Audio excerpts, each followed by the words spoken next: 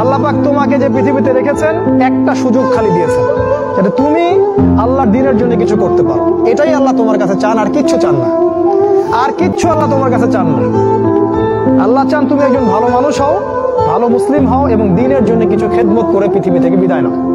এই দিন তুমি ছাড়াও বিজয়ী হবে, ইনশাআল্লাহ। তুমি থাকো বা না থাকো, এই দিন কিন্তু বিজয়ী হবেই। কত কিছু চাইলাম, পাইলাম না দিল না আল্লাহ। বলে না? আপনার সব দোয়া কবুল। আপনি যত দোয়া করছেন সব কবুল, কারণ আল্লাহর কাছে কিছু চাইলে আল্লাহ ফিরায় দিতে জানে না।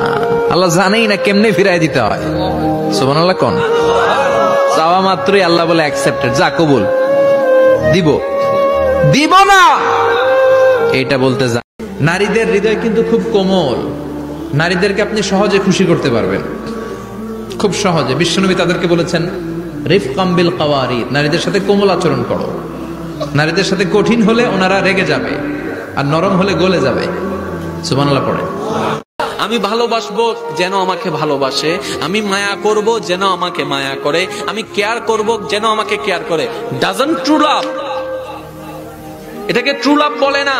ভালোবাসলে ভালোবেসে যান আল্লাহ এবং রসুলের সন্তুষ্টির জন্য। এটার নাম ভালোবাসা সুবাহ কত যুবক যে পৃথিবী থেকে চলে গেছে। হে আমার ভাই আপনাকে কেমন করে বুঝাই? যারা দিন রাত কোনো কিছুর পরোয়া করেন নাই।